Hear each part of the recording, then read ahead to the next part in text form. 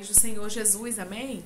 O Senhor Jesus colocou uma palavra no meu coração e eu trago para os nossos corações, que se encontra no livro de Lucas, capítulo de número 8 e versículo de número 49, que diz assim: Falava ele ainda quando veio uma pessoa da casa do chefe da sinagoga, dizendo: Tua filha já está morta, não incomodes mais o mestre. Mas Jesus, ouvindo isso, lhe disse: Não temas, crê somente, e ela será salva. Amém? Glória ao Pai, ao Filho e ao Espírito Santo de Deus por essa palavra.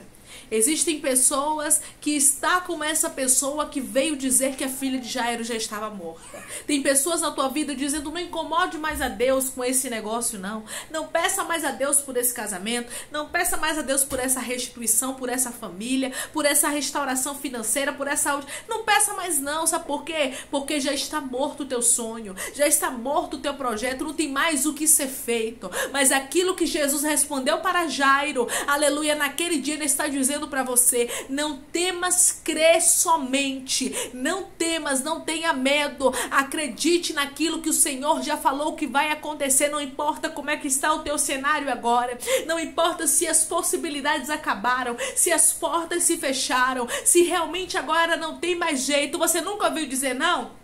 Que o Deus que nós servimos é o Deus do impossível. Ele não gosta de agir na possibilidade, ele gosta de agir na impossibilidade. Ele gosta de fazer aquilo que é extraordinário, que é sobrenatural, aquilo que nós não podemos fazer. É realmente o papel dele fazer. Ele é o Deus do impossível. Ele está dizendo para você, como eu visitei a casa de Jairo, eu estou visitando também a tua casa. Mas e agora, irmão? O cenário está contrário. O que é que eu preciso fazer? Jesus está te dando uma direção, uma ordem. Aleluia, através dessa essa palavra dizendo: não temas, crê somente. Comece a exercitar a tua fé. Comece a acreditar. Foi isso que Jesus disse para Jairo. Acredite, Jairo. Não tenha medo. Continue firme. Aleluia.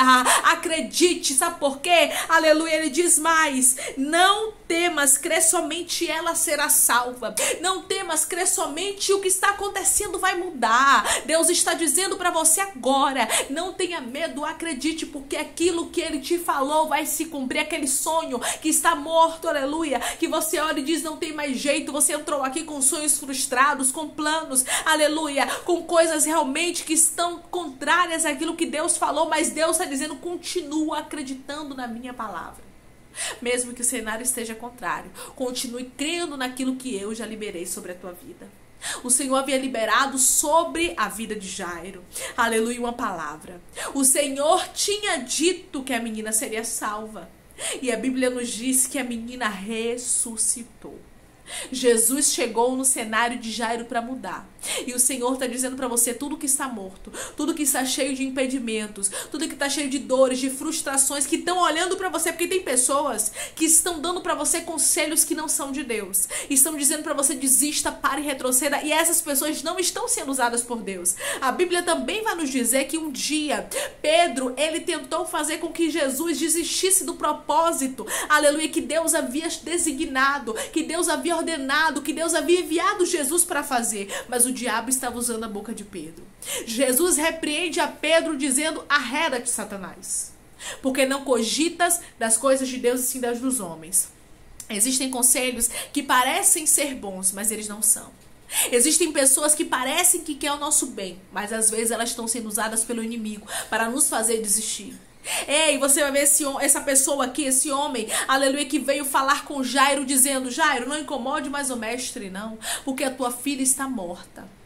E tem pessoas que é assim, diz, não ore mais não. Parece até que quer o teu bem, né? Pedro também parecia que queria o bem de Jesus. Quando Pedro disse, não, mestre, não faça isso com o Senhor.